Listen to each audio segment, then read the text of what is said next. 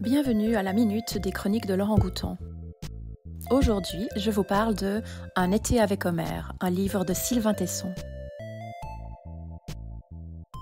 Vous n'avez jamais lu l'Iliade et l'Odyssée, cette saga mythique de la culture grecque et européenne? Qu'à cela ne tienne, Sylvain Tesson l'a lu pour vous et la raconte magnifiquement dans Un été avec Homère.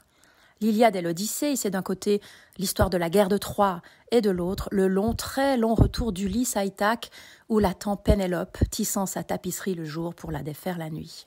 D'abord la colère d'Achille, les batailles sanglantes, et puis le destin d'Ulysse, homme paradoxal qui aime l'aventure mais veut rentrer chez lui, curieux de toutes les créatures étranges qu'il rencontre en route, goûtant aux nymphes mais pleurant Pénélope.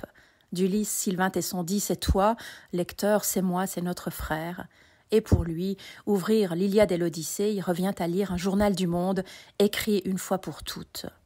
Avec enthousiasme et un style au charme fou, Sylvain Tesson raconte l'aspect universel, aventureux et sage de l'Iliade et l'Odyssée, tentant de percer les mystères de ces vers qui ont traversé le temps. En toile de fond, on retrouve la vision du monde attachante de l'auteur de La Panthère des Neiges. Un été avec Homère est à l'origine une série d'émissions diffusées pendant l'été sur France Inter, d'où sa forme, une succession de chapitres brefs et vivants, mêlant commentaires personnels, explications et citations d'Homère. Pour écrire Un été avec Homère, Sylvain Tesson, le montagnard, a passé plusieurs mois sur une île des Cyclades. On sent le grand vent du large et l'air salé dans chacune de ses phrases, et c'est terriblement bon.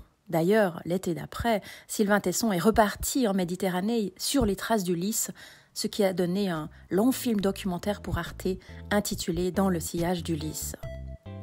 Cette chronique vous a été proposée par Isabelle Falconier. Les chroniques de Laurent Gouton sont un podcast des bibliothèques de la ville de Lausanne.